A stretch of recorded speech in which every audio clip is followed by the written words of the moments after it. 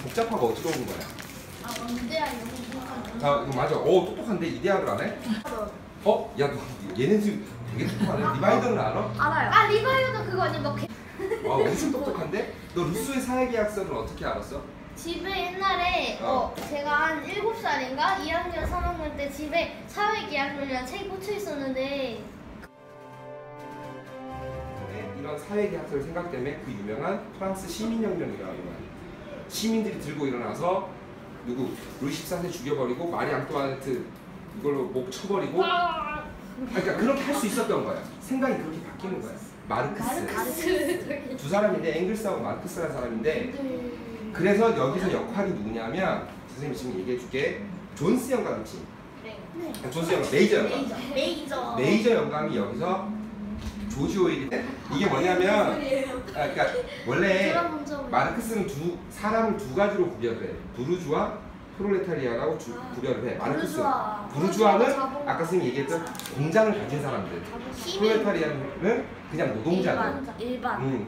그럼 이 사람 프롤레타리아가 얘한테 공장을 뺏어야 돼.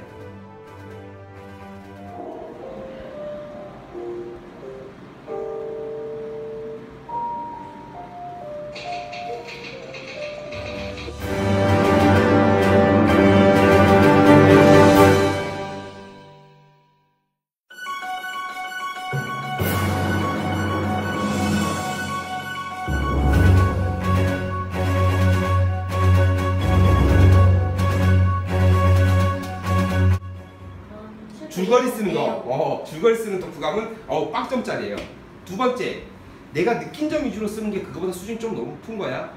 세 번째, 내가 이 책을 읽고 이런 내용을 봤었을 때 나는 앞으로 어떻게 해야 되겠다라고 니네 생각이 바뀌거나 나는 행동의 변화를 이루어내거나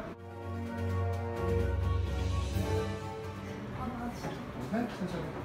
그 동물농장을 읽고 나서요 가장 마지막으로 든 생각이 이 책은요 어, 사회에서의 과거 권력 남용 그리고 그 뭐랬지 불평등 그럼 너는 혹시 그런 모습을 네가 여기 이제 살아왔는데 학교 생활도 있을 수 있고 집에서도 그럴 수도 있고 아니면 학원에서도 그럴 수 있고 네가 경험한 것 중에 소소한 거 막 어렵게 얘기하지 말고 네가 경험한 것 중에 그런 불평등이 주변에 있었어?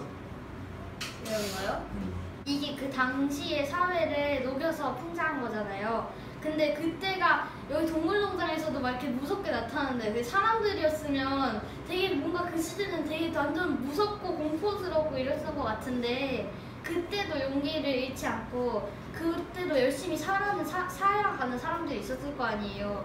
그런 사람들 덕분에 지금의 러시아, 지금의 국가가 있었다 생각하고 진짜 너무 존경스러운 것 같아요. 그리고 보면 음, 기부하는 사람들을 되게 칭찬하잖아 네.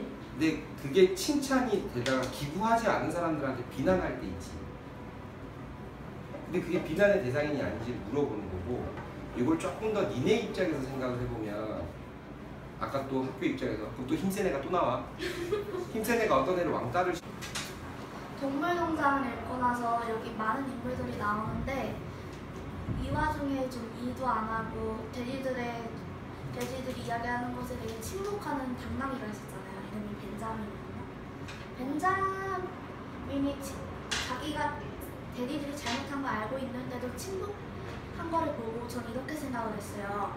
내가 만약에 벤자민이었다면 뭐 법들 중에 부당하다라고 생각되는 법은 헌법 소원을 하거나 시민 불복종 운동을 통해서 이 법을 바꿔가려고 하는 노력들이 있어. 생각을 한다고. 일본에 있었을 때 내가 그냥 일제시대야. 내가 그냥 열심히 공부해서 준비해서 일본 육군 사관학교에 들어갔어. 그랬더니 그 사람들이 너는 독립군을 잡으래. 그럼 그 사람의 개인의 입장에서 보면